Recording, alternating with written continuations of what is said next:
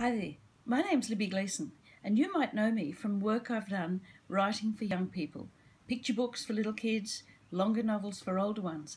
But I'm going to talk about something different now, not books, but Booktober.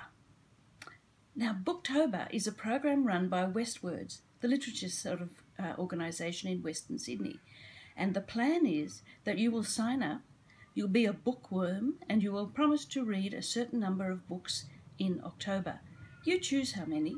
There's no restriction, and there's no nothing that says that you have to read a certain number.